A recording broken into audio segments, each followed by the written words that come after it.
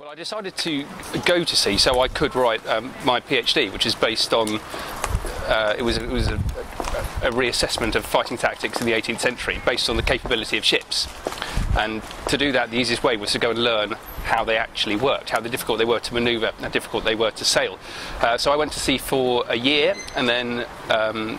about 18 months after that, I went back to um, helped make a film, uh, the Channel 4 film Shackleton. And we took a, a, replica of the Endurance up to the Arctic and got it stuck in an ice pack. But the, the whole business of being at sea really fascinates me and it, it helps you ask the right questions of, of, of, of, the past and ask the right questions of the